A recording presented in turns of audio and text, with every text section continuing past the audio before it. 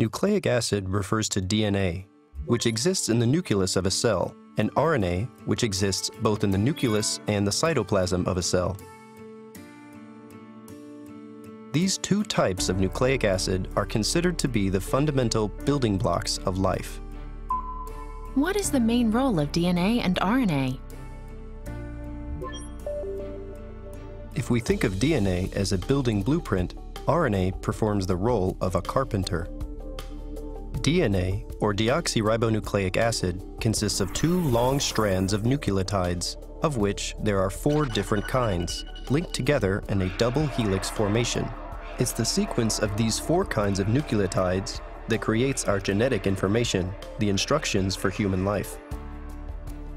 RNA, or ribonucleic acid, creates the proteins each cell requires according to the genetic instructions stored in DNA. Think about how we listen to music stored on a CD. To create a music CD, the elements of music, rhythm, melody, and harmony, are converted into digital form and encoded onto a CD. When this CD is read by a CD player, we are able to enjoy the music that has been encoded onto it. In the case of human life, the instructions for making the proteins that the body requires are encoded into our DNA. These instructions are then read by RNA, which facilitates the synthesis of the proteins required to sustain life.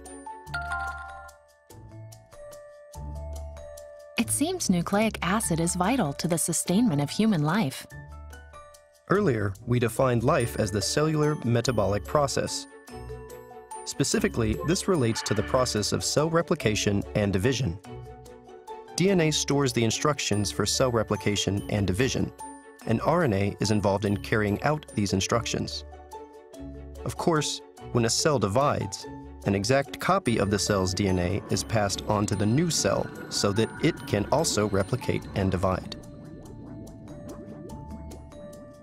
In other words, nucleic acid plays a vital role in the cellular metabolic process.